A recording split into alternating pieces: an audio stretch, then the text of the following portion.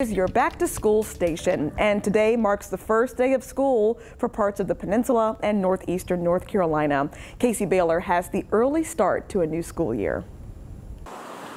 A sea of backpacks and smiling faces return to many schools in Hampton Roads.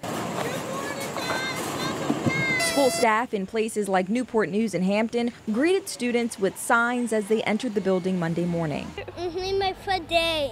Many students like Peyton Rose are excited about the new year. Others are ready to show off their new school gear. And I got the unicorn backpack. And parents on the peninsula have mixed emotions about dropping their students off. I am uh, uh, hoping for a safe and productive year for two of my kids. Yes, we are so excited. I'm sad, but it's okay. It's bittersweet.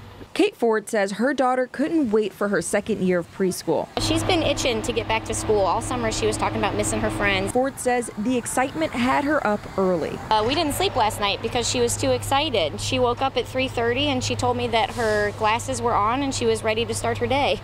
and this school year is much different than years prior. School leaders in Newport News and in Hampton decided to start the school year a week earlier than normal. According to leaders with the Newport News Public Schools Division, the early head Start allows teachers to address student learning gaps and end the school year early. I'm Casey Baylor for 13 News Now.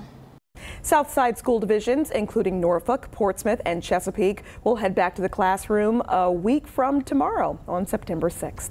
Now we want to see those first day of school pictures so far. Oh.